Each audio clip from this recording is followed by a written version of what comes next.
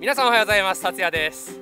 お久しぶりです。そして明けましておめでとうございます。もうね年を越して2022年かになってますけど久々にこのバンフの街朝から散歩します。消えました。今日マイナス34度。マイナス34度のバンフがどんな景色かね皆さんにお届けしますんでぜひあったかいこたつに入りながらこの寒そうなバンフの景色見てみてください。早速歩いていきましょう。寒くて口が回らん。いや冷えましたね。ただ冷えたとはいっても見える通りこの日差しがすごい綺麗に入ってきてて風が全くないんですよね。でものすごい青空。なので数字から感じるほど寒くはないかなって思います。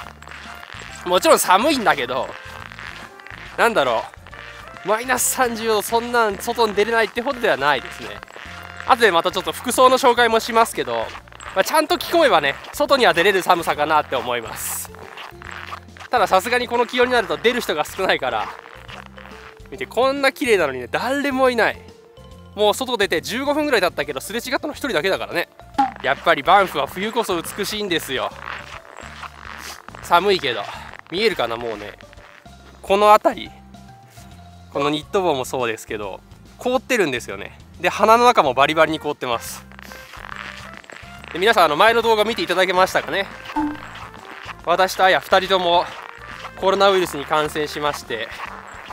でこんな風だったよっていうのをお伝えしたんですけど。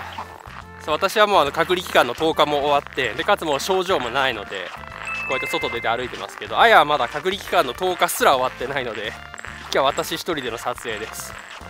といってももう症状はほとんどねたまに忘れた頃に咳が出るかなってぐらいで。あやももうすっかり回復しております。ただやっぱりねこのコロナになって何が一番辛かったかって隔離で家にいなきゃいけないこと。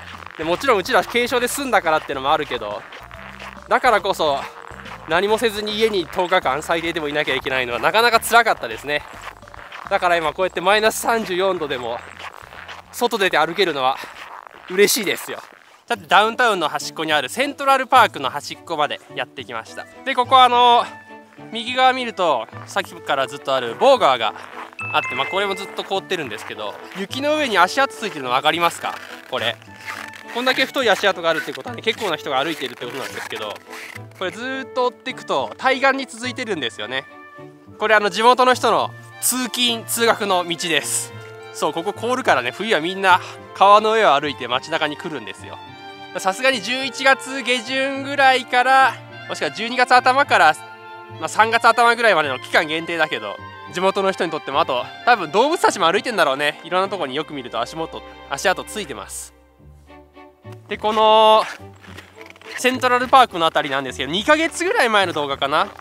秋にこのバンフを散歩したって動画を出しましたけどその時にあの覚えてますか？橋の工事が始まりますよってちらっと喋ったと思うんですけどこの看板ね。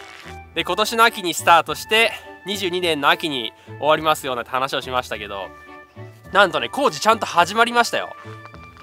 あの動画撮ってすぐかな？始まってもう今ここ通行止めになってます。多分基礎とか作ってるんだろうね。通行止めではないのか。通り抜けできませんよって書いてあるだけでいくらとは書いてないから行ってみますかね。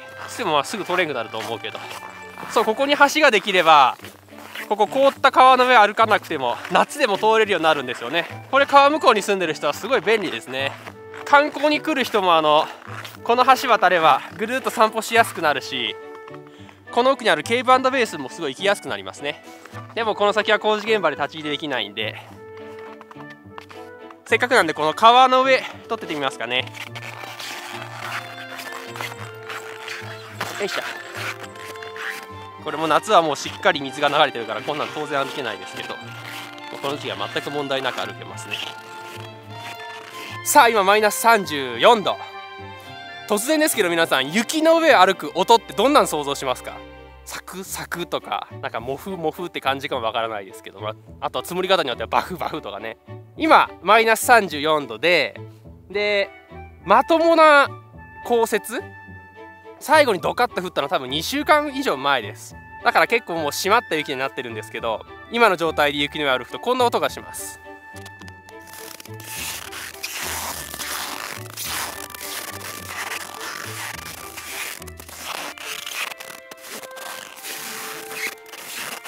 聞こえました。僕がよくそれ表現する時に使うのがゴムでできた床の上をゴムの底のスニーカーで歩くっていうね表現するんですけどどうです？皆さんどんな風に聞こえました？ギューギューってね一歩一歩。特にこれ力入れて歩いてるわけじゃないんですよ。普通に歩いててもこんな音はします。もうね一歩一歩このギュギュギュってなるんですよね。いわゆる締まったいい雪っていうのかな。まあ締まってはないけどいい雪なのかどうかもちょっと分かりません、まあ、ちなみにですけどこんだけ冷えるとスキーは滑らなくなります。スキースノーボードね。で今日サンシャインビレッジも朝はリフトの運転見合わせてるみたいなんで寒すぎて。今年そういう日が多いですね。本当に寒い今年の冬は。ね、日本は今かなり雪が積もってるみたいで。あちなみにこれ撮影してるの大晦日です。31日ですね。いろんなところでなんかスキースノーボードに行った車が事故して車が動けないって聞きますけどここまで冷えると車の運転は楽です。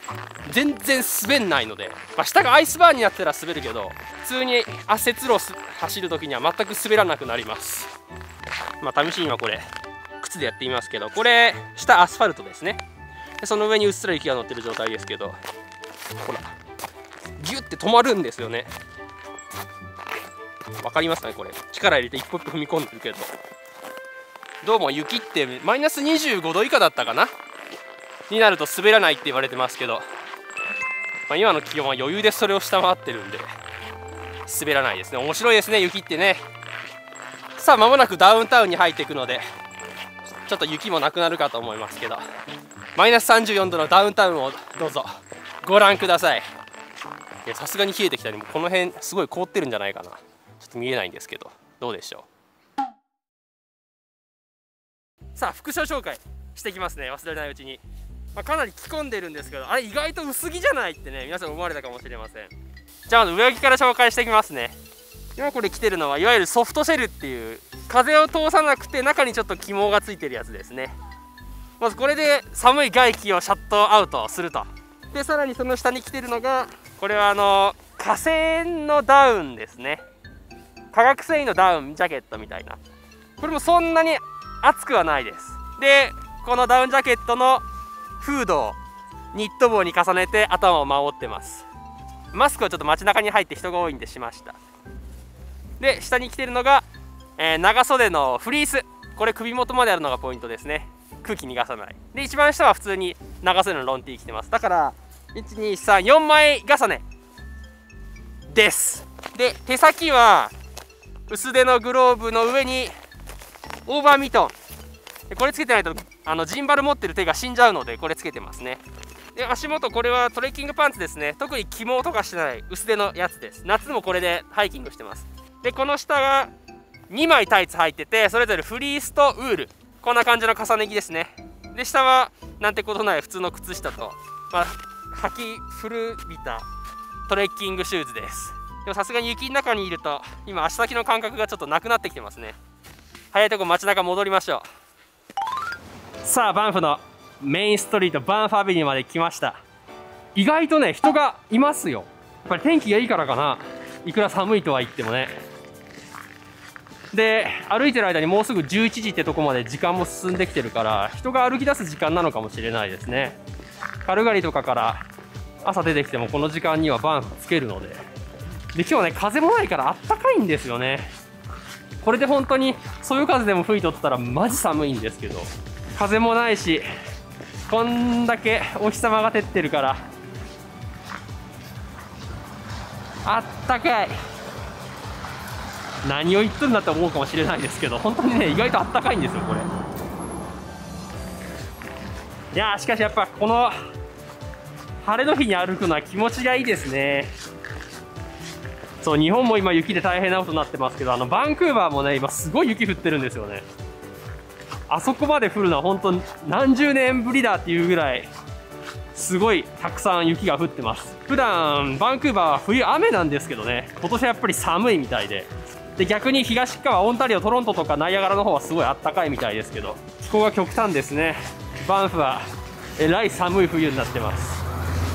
でもやっぱ冷えれば冷えるほど綺麗ですよこの街は。いや素晴らしい。今ね街のど真ん中の交差点まで来ましたけど。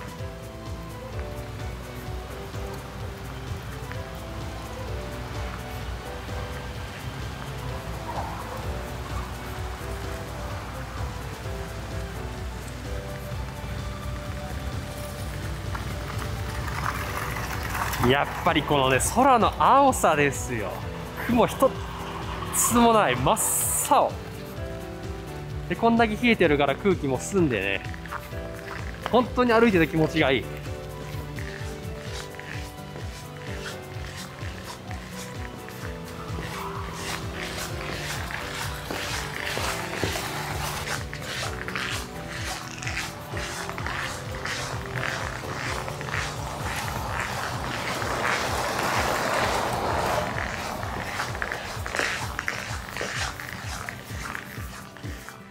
極寒のバンフ散歩いかがでしたでしょうか？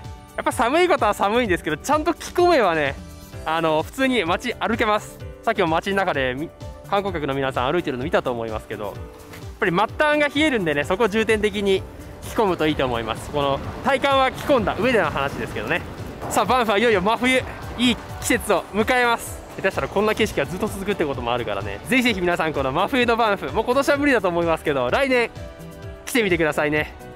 いい景色見れますよ。これ山の中行ったらもっとすごいですからね。ただ寒いことには変わりないんで見えるかな。この辺全部凍ってますけどこれぐらいにはなります。それも楽しみの一つかもしれないですね。では皆さん今年2022年も僕たちの動画楽しみにしちゃってください。また引き続き見ていただけると嬉しいです。それではまた次の動画でお会いしましょう。はいじゃあ。本当綺麗。